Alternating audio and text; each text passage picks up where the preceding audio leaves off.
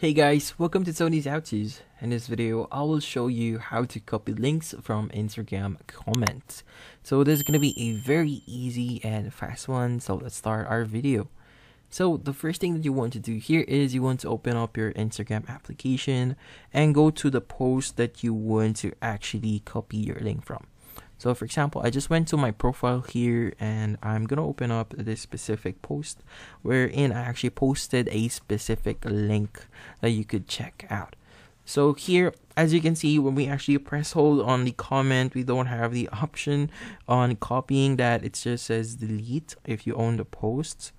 So how do you actually uh, copy this link here? So the first option that we could actually do is you just want to go to the comments and just basically type each of these letters into your comments and you could just basically uh, copy it. So for example, I'm just going to copy this real quickly. So here, for example, I have this link here, already copied the first part here. Just want to click hold on it and just make sure I, I copy all of, uh, I highlight all of it. And here just click on copy and you'll be copying it successfully. So if it's a, a very short link you could do this. But for example it's a very very long link and it's kind of tiresome to actually type this one one by one. What we could do here is we want to download an application that you could use from play store.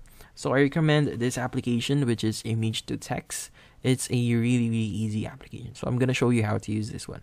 So the first thing that you want to do is go to the comment that you want to copy the link from. So here, just take a screenshot. And from here, you want to save this one. Then we should go back into the application and open up this application image to text and let this load up. So once it loads up, you want to upload your image so press on the camera you see at the center top and just choose gallery. Here just choose your gallery. And here go to albums go to all photos and choose the photo that you just took a screenshot. And from here make sure the only section that's copied here is the section that you want to translate.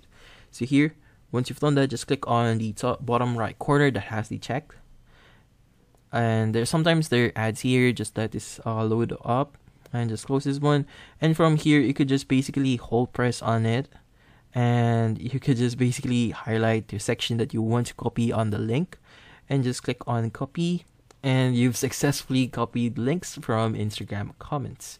So thank you for watching. If you have any questions, feel free to ask in the comment section.